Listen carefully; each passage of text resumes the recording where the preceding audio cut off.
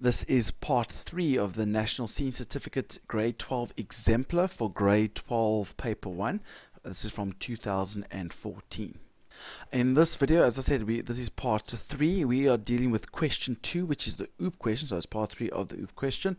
And if you remember from the previous parts, we created our own object called T-Relay Event with those attributes, event, team here, and record time and then we created those methods with the constructor to get each of those individual attributes. And then we got a check for record which will take in two uh, parameters and check if the record is changed. And if it's changed it will record new data. If it's the same it will add on the new data. And then a toString to display that information and this is the main form or main uh, question that uses that object. And we in the last video we coded the 2.2.1 so we're going to move to 2.2.2 and there is the question. It's quite a long question. It's like 23 marks. So let's get stuck in and see how far we can get. Okay the user is going to enter the name of the school of the winning team and the record for the new time. And that as you can see is recorded over there in those two edit boxes and when they click on this validate time, there's quite a few things we want them to do. First of all, um, the validate the record winning, the recorded winning time that was entered to make sure that a numerical value is entered. So we've got to check that a numerical value is entered, and then if an invalid time is entered, we must give a suitable error message, and then just not allow the user to do anything else. So let's start with that. We're going to first check that the time that they entered in is a numerical value, so some sort of real number. So let's see if we can do that. So to check if the number is a numerical number, I'm going to come up here and I'm going to declare some variables quickly. Um, the first thing I want to declare is I'm going to declare some sort of real value which I'll make as the new time. And then I'm going to make that obviously because the, the numerical time it's obviously going to be something point so many seconds so that's why I'll make it a real. But I'm also going to make another variable called I'm going to call it check of type integer. I'm going to show you why I'm going to use, or what I'm going to do here. I'm going to use a function, which I don't know if you're aware of, called val. Now val takes in a string. Now we're going to take in this string over here, where we get the time, which is edt time. So I'm going to take in the string edt time, and its text property. That's the string that I want to put into that part. The next field that comes in, if you if you remember, if you look there when I put the bracket there, you'll probably see it pop up. Is a some sort of variable. It doesn't tell you what type, but it's actually some sort of number um, variable. So I'm putting in new time, which is the real, and then I'm putting in this check. And the way it works, if you don't know how val works, is val will take that value. If it was like, for example, 41.13, it will take that string convert it to whatever type that is. So in this case, it's a real. Convert it to real and put it into there for me. If there's a problem at any point during that conversion, let's say I gave it this number to put into the real. Now, do you see there's an A in the middle of it? Now, that's a problem. So then what it will do is instead of new time being 41.13, it'll make new time equal to a 0 and check is going to equal to a 4 because there's a problem at position 4 in the conversion process. If check is equal to a 0, that means the whole string that, that, that we put in there got converted successfully to new time. So that's what I'm going to use to see that they've put in a valid number. So because that's a real, if that is converted successfully to a real, then it will make check into a zero. The same thing would happen if new time was an integer and we entered an integer value in and it was successfully converted to an integer, then check would also be a zero. So once I've done that, I'm going to, and it won't crash if there's a problem. So all I'm going to do here is a if check is not equal to a zero. Now if you've forgotten that not equal, that's how you do a not equal to. Okay, so it's just uh, when I do it, I remember Rihanna. So shine bright like a diamond. It looks like a diamond there. So whenever you think of not equal to, just think shine bright like a diamond. If check is not equal to zero, then I want to do the following. Well, they said we must give a suitable message. So I'm going to say um, invalid time entered. Entered. There we go and then after that I don't want to do any more code after this I'm going to use exit exit will exit out of this procedure so any code I write after this will not be done So let's just first check to see if this actually works. So let's just run it. So this is a valid time and I can't click on that button. So I think in the previous button I would have had to make it clicked. So let's go to it quickly. This button, button valid enabled equals true. So I need to click on that button first. So I forgot about that. First click on that button. Now I can click on this button. I click on it and nothing popped up. So technically that is correct. So if I go and I put an A in there, it's going to go, oops, sorry, invalid time entered, and it'll stop right there. So there we go done. We've done the first part, which says record, to make sure that it's a valid time that has been entered. Perfect. Now, if a valid time has been entered, the next step is we must dynamically instantiate a button. So that's quite a complicated thing. So let's go through the steps for that. So let's go back to our program and we're going to dynamically instantiate a button using these um, coordinates or these details, sorry, these details there. So we're going to come back to this to get the details. So let's go back to our code. And over here, we're going to dynamically instantiate a button. So the first thing I'm going to need to do is I need to declare some sort of button object. So let's call it btn check status. We're going to create this button or check record. That's probably going to be a better one check record and that's going to be of type T button. So there's my button that I created. Now, just like with objects, we're going to dynamically instantiate. So I'm going to call its name btn and it's check record. Now that I'm going to use the create like you would do for a normal create of like in objects. I'll go T button dot create. Now, does this look familiar to how we've used objects? Because exactly that, we're dynamically creating this object that doesn't technically exist. We're going to create it, and that's how you would use that object's constructor create. And it's taking in some sort of owner. Who owns this? Uh, we need to find an owner for it. I don't know if there are any details here for does it say it's owner? No, but it's coming from a group box.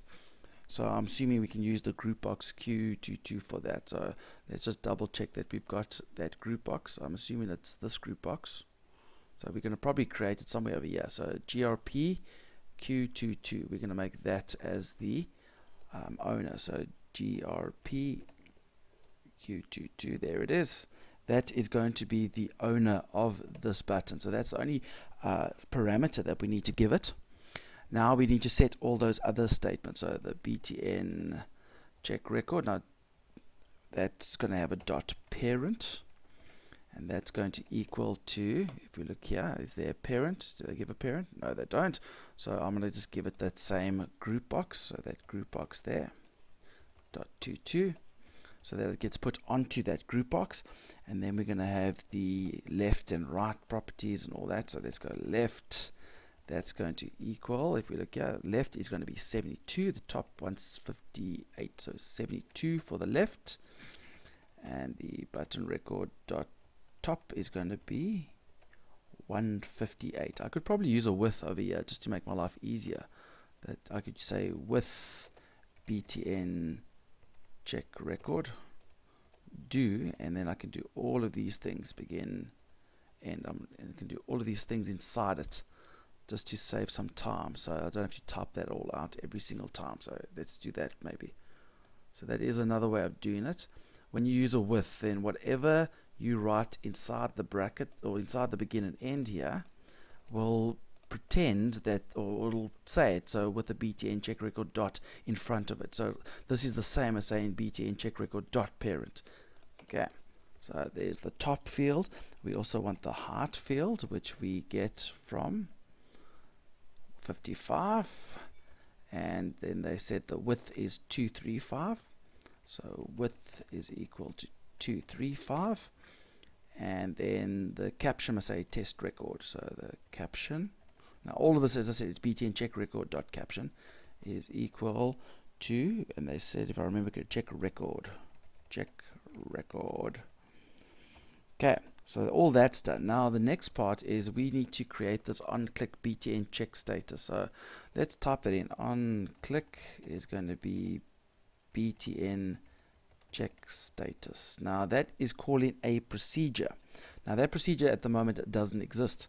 So we need to go create it. So I'm going to go to the top here and I'm going to create that procedure just like we would a normal button. So called BTN check status and it's going to be like those other buttons so I'm also going to have a sender as a parameter like that let's see if that works and I'm going to control shift C and here I'm going to write the code for when you click on this button it's going to come to this procedure and this procedure will run over here.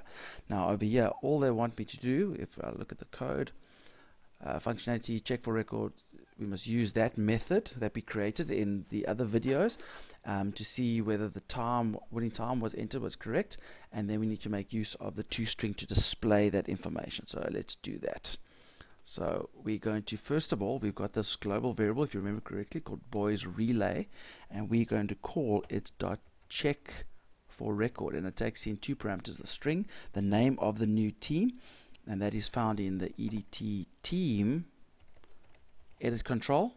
That's this one over here. And then the edt time that's going to be in the next one. So let's have a look at the time. Edt time dot text now the problem here is this is going to return some sort of string and if you remember correctly when I put that bracket in you see the first one was a string the second must be a real so I need to just make sure I convert this from a string to a float so that it can be done. Now, you it won't cause an error because remember we validated that before this button was created over here to make sure that it was a legitimate number. So there we go. So we're going to call that procedure or that uh, method that we created and then once that's done we must just display the results. So in the red output we first just clear everything and then we're going to say red output dot lines dot add and we are going to use the toString function. Now you can't just write toString like that because it doesn't know what toString is. You got to say, ah, it's my variable boy relay dot toString. Then the toString comes up. Great. And then once that's done, I've got a funny feeling that this button is disabled. If I look there, is it disabled? And so you go to enabled. Where's enabled? I can't see it. E, E, E. There it is. False, yes. So we should probably enable this record status. So I'll go back to my code. So then btn record status dot enabled should be made true so that we can at least do the third part of the question. Okay. So basically what's happened, we first check to see that there was a valid time. If there wasn't, we show a message and we exit completely from this procedure. None of this will happen then. If there is a valid time, then we created a button with those specs and we created, when you click on that button, it runs that procedure. And then we created that procedure over here and says we're going to check for record using what we created in our object.